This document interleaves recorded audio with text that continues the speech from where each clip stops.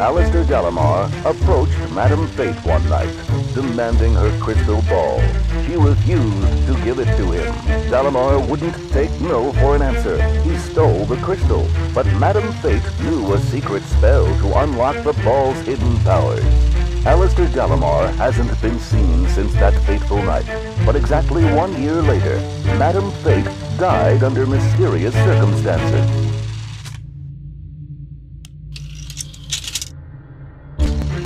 Death declared. World famous fortune teller Madame Fate has predicted the exact date of her own demise. The prophecy will be fulfilled. I will die.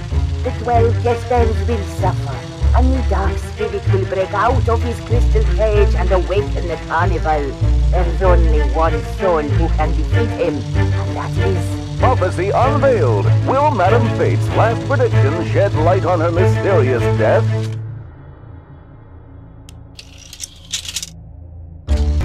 A manor in ruins. Ravenhurst has burned to the ground. Police suspect arson.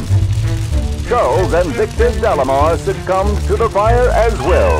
Their father calls for vengeance.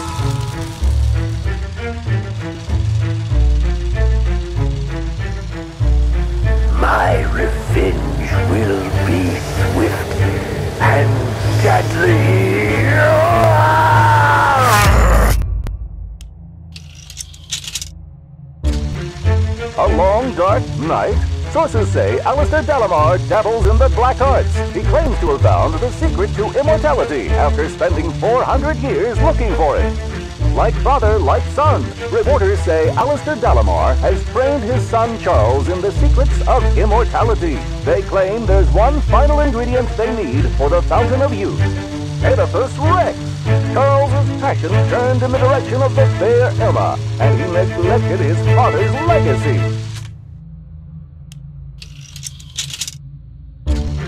Cursed Carnival. Long thought dead, many of the carnies are actually Dalimar's prisoners. Death comes to the carnival. Dalimar punished those who mocked him, and, and others were killed instantly by the curse. Torture tactics. Dalimar reserved his worst tricks for an unfortunate few. Can our detectives save them? Turncoats in the midst. A few conniving carnies tried to profit off Dalimar's plans. Darkness? Fading?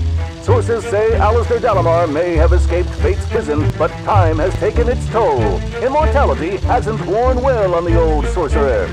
The Eternity Machine. New reports from Fate's Carnival say Dalimar has created a grand machine that will produce a new earthly body for his spirit. It's alive! Sources say Dalimar's new earthly vessel will be entirely without human weakness.